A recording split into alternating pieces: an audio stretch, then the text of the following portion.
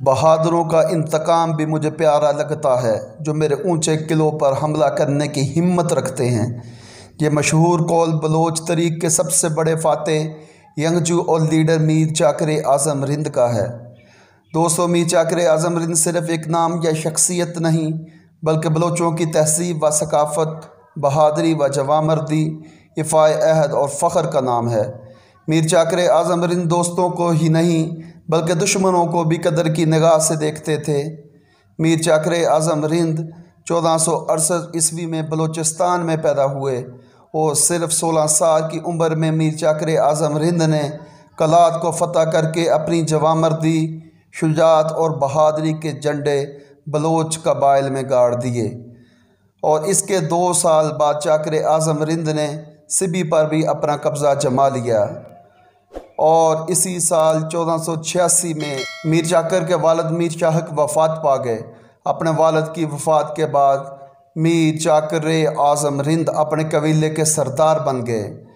यूँ अठारह साल की कम उम्री में वो अपने कबीले के सरदार हुए। सरदार बनने के बाद चाकर आज़म रिंद का अपने भाई लशारी से तवील जंग का आगाज़ हो गया।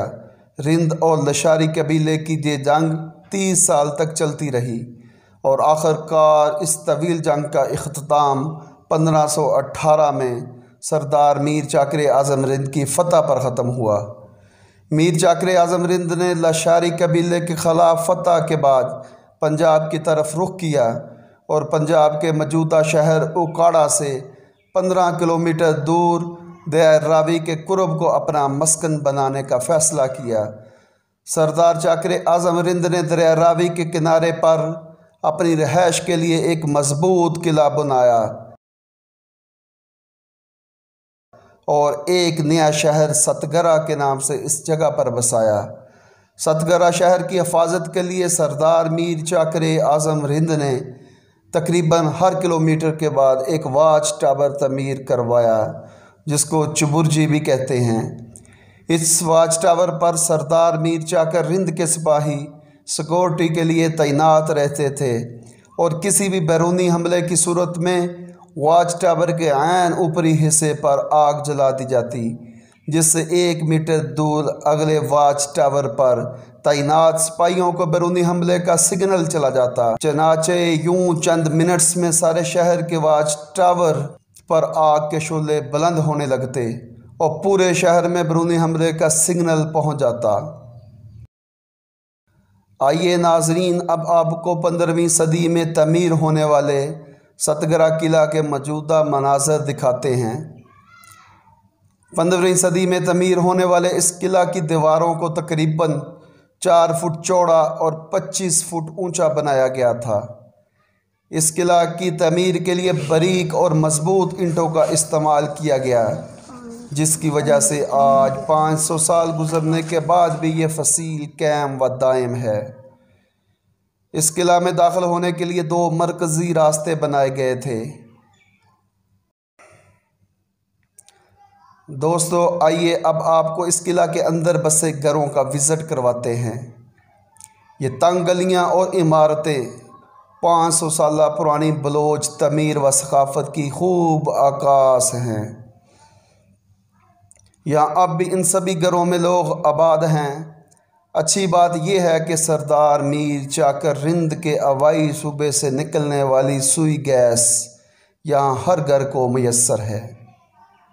यहाँ पर बसने वाले लोगों से मेरी इल्तजा है कि खुदारा इस तरीक़ी विरसा और सकाफ़त की हफाजत कीजिए और गुज़रते वक्त के साथ टूट फूट का शिकार होने वाली इन दीवारों की मरम्मत और रिपेयरिंग का काम अपने ज़िम्मा लें, ताकि हम अपनी आने वाली नस्लों को ये हिस्टोरिकल वरसा मुंतकिल कर सकें। दोस्तों, अब आपको मैं सरदार मीर चाकर रिंद बलोच की अस्करी क़वत का बताता हूँ। पंद्रहवीं सदी में बरसग़ीर की सबसे मज़बूत फ़ौज, चालीस हज़ार बलोच नौजवानों पर मुश्तमिल सरदार मीर चाकर आज़म रिंद ने तैयार कर रखी थी। ईरान से बादशाह हमैयों ने सरदार चाकर आज़म रिंद से मदद तलब की। सरदार चाकर आज़म रिंद ने अपने बेटे की क़्यादत में बलोच नौजवानों पर मुश्तमल फ़ौज बादशाह हमैयों के साथ दिल्ली की तरफ़ रवाना की। मीर चाकर आज़म रिंद की फ़ौज ने शेर शाह सूरी के जानशीनों को शिकस्त देकर दिल्ली का तख्त बादशाह हमैयों के हवाले कर दिया। पंद्रह सौ पैंसठ में ये अजीम बलोच सरदार इस दुनिया फ़ानी को छोड़कर खाल के हकीकी से जा मिले और बामकाम सतगरा में मदफून है। ये सरदार मीर चाकर आज़म रिंद का मकबरा है। इस मकबरा के अंदर सात कब्रें हैं। सरदार मीर चाकर आज़म रिंद अपनी दूसरी बीवी और बच्चों के साथ इसमें मदफून हैं।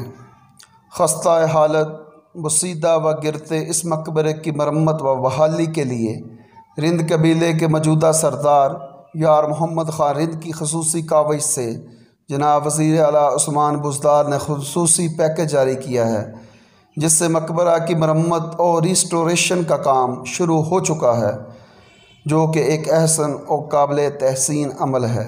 आपको आज की हमारी ये वीडियो पसंद आई होगी। अगर आपको आज की हमारी ये वीडियो पसंद आई है तो इसको लाइक और शेयर ज़रूर कीजिएगा।